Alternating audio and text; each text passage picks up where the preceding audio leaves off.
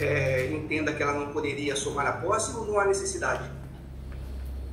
Na verdade, é, nesse caso, eu usaria as duas teses, né? Poderia usar a soma de posse e também, por questão de segurança, a posse complementar.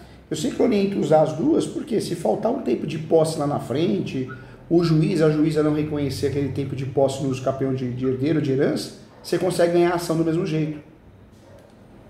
Nesse caso aí, específico, doutor, poderia é, citar o parágrafo primeiro do 1238, porque é uma moradia dela, para cair para 10 anos, o extraordinário? Poderia, poderia Não. sim, poderia sim. No caso dos campeões extraordinários, de 15 cairia para 10 anos, perfeito. É, e hoje em dia está pacificado que eu não preciso ter a moradia habitual. Se eu tiver de fato investimento econômico na posse, já resolveu o problema também. Sim, não, isso tem prova. E outra, ela em novembro já vai fazer seis anos que o marido faleceu. Então, em tese, ela teria só ela já seis anos. E vamos torcer que se demorar um pouco, a gente nunca quer que demore. É verdade. Mas justa, a gente precisa no fim vai rápido lá. O lado Mas, bom. Então, na pior das. O lado bom que é onde o doutor está falando, a, a, região.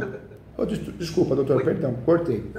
Mas a, o lado bom que o doutor está falando, essa região que o doutor está tá trabalhando, é, os usos capiões têm durado um ano e meio, eu tenho decisões de dois anos, então não costuma ser demoradas as ações de uso capião. E, e às vezes é melhor fazer uso capião judicial do que extrajudicial, porque essas regiões, os cartórios são conservadores. Então, faz um uso capião judicial que é melhor, né? Evita dor de cabeça. Então, eu faço aqui o doutor Paulo Desic, que é o oficial, o registrador, é muito gente boa, atende a gente muito bem, só que ele não aceita extrajudicial. Olha lá. E é uma realidade, né? É, infelizmente, vendem, né? Hoje em dia tem muita venda de cursos, advocacia extrajudicial, milionária. Mentira, mentira. São os coaches, né? É. São os coaches. É, eles, na verdade, eles não fazem o que eles prometem, eles ganham dinheiro com curso. É assustador, né?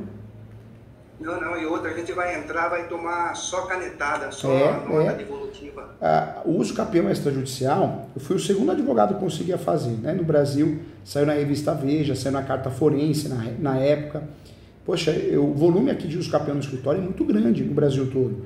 E de cada 100, 98, 99 é judicial. Ou seja, inventaram um uso campeão extrajudicial que nunca existiu e nunca vai existir, doutor. Não vai existir porque os cartórios são conservadores, são mal treinados, o cliente não tem documento, quando nos procura tem temas polêmicos, não tem, não tem provas, né?